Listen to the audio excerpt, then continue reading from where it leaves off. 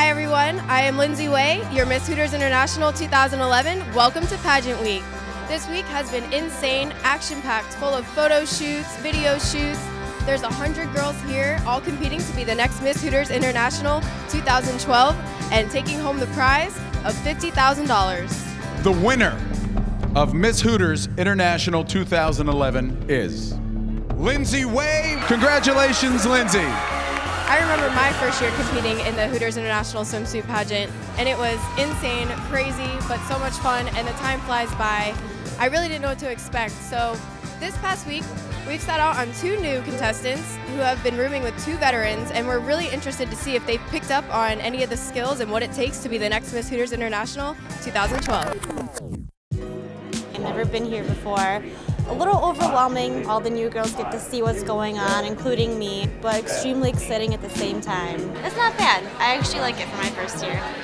All right, so it's our second day being in Miami. Um, it's been a very long day. I got up at about 5.30 in the morning to get ready to shoot at 7.30. Here we are now at our first rehearsal, learning how to do our grand entrance. We're learning our dance in our cocktail dresses and wearing heels. Let's hope I don't fall. Ready? We'll see what happens. Five, four, five, six. It's our first time practicing in our heels, so we got to get them broken so our feet aren't hurting us by the end of the week, and just make sure we're walking very smoothly and gracefully. I'm a little bit nervous because I don't know if I'm going to fall on stage or if I'll be a prima ballerina. We'll see.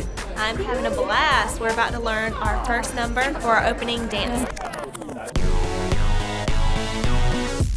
We got our numbers today. They're all in alphabetical order. So I'm number 96, a little towards the end. Well, basically almost last, but I think it's a good thing. That way they just get a final look at you. You're one of the last girls. They'll probably remember me. Hopefully. Cross your fingers. Sarah's been helping me with what to wear, where to go, figuring out the schedule because it's so confusing. So crazy. And she's helping a lot.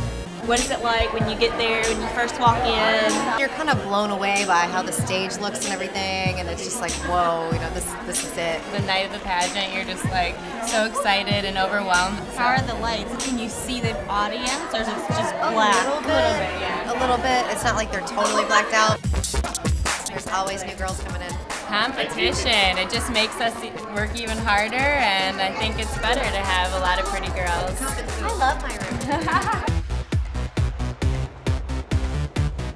We have done a couple of photo shoots this morning. We're doing some more stuff later on in our uniforms, so really excited. Um, it's been very exciting. I've met a lot of new people, and I'm ready for what, see what the rest of the week has for me. When I heard that one of us was going to be Miss Hooters International, it just blew my mind. If that was me, I think I'd honestly just faint on the stage. I don't know what I would do. Yeah, you'd see me on the floor.